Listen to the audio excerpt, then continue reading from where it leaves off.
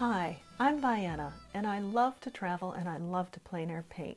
But sometimes it's not always practical to carry around all my plein air equipment with me when I'm on the go, and for that I love to use a sketchbook. What is a sketchbook? Well, it's nothing more than a little book that an artist carries in order to um, make little drawings, paintings, write notes, um, get a record then of what it was that inspired them. There are several advantages to working in a sketchbook. For some reason, when I'm working in a sketchbook, I feel less invested in getting a good painting, and I'm more likely to experiment and play around. I also really rely on my sketchbook when I'm back in the studio. Those color notes in conjunction with my photographs can help me relive my plein air experience. So for that, I would like to make a special note then to the students of my upcoming landscape workshop in Italy. We will have several days where we will be doing full plein air painting, but we will also have days where we will be on the go. For instance, when we are um, touring the gardens in Florence, or visiting a vineyard for wine tasting, or strolling the streets of Siena. By using a sketchbook, you're going to be able to capture the character and the light of Italy, and that's going to help you to relive that experience, that, your photographs, and your paintings once you're back in the studio. Now, let's take a look at what makes up a sketchbook and what an artist should use then for their sketch kit. Let's take a look at what makes up the components of a sketchbook. That's called a sketch kit.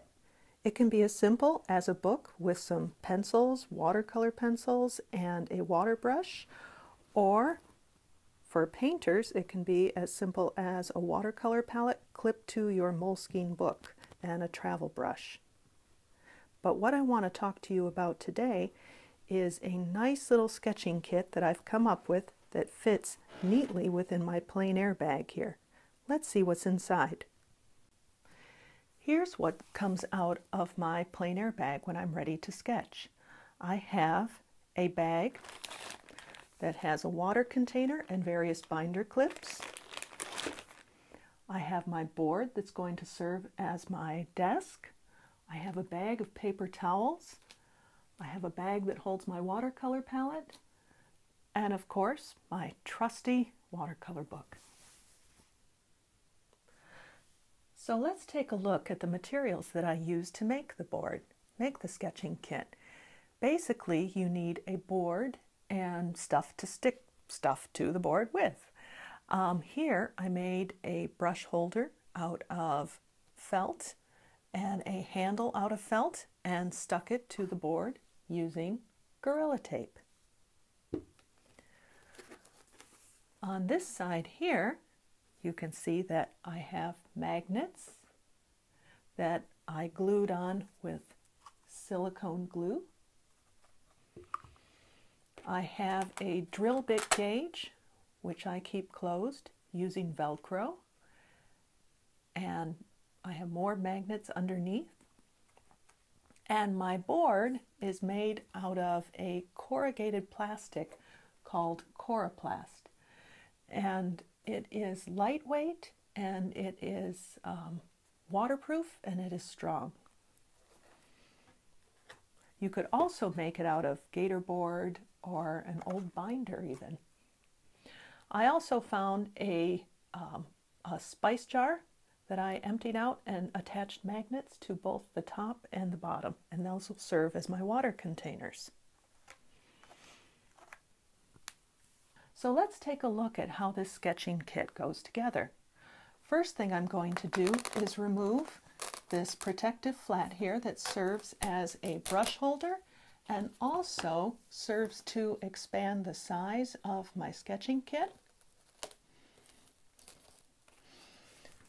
Again, you can see my brush holder is made of felt and I have also added a nice little handle onto the back of my, um, my board.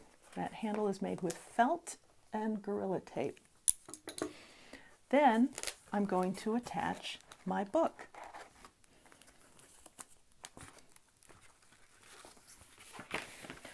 I lay the book down flat and use a binder clip.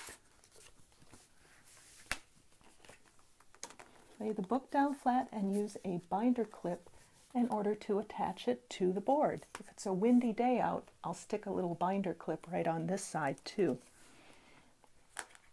Next, I'm going to open up my brush holder here, but I'm doing that so that I can attach my water container. My water container is made of a spice jar with a magnet on either side and this way then I have two containers of water so if one gets dirty I can use one for clean water.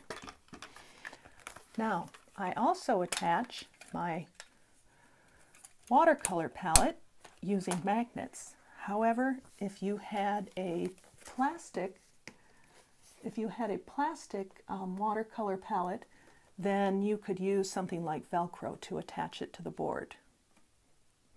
If you notice here, this little area that's bumped up from the thickness of that actually makes it so that my watercolor palette lays absolutely flat.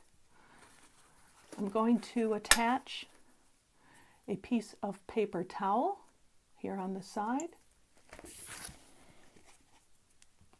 And that's going to act as a blotter for my brushes.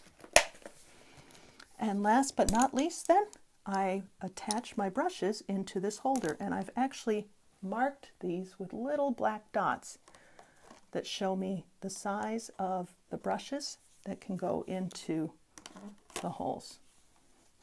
And now I am ready to paint.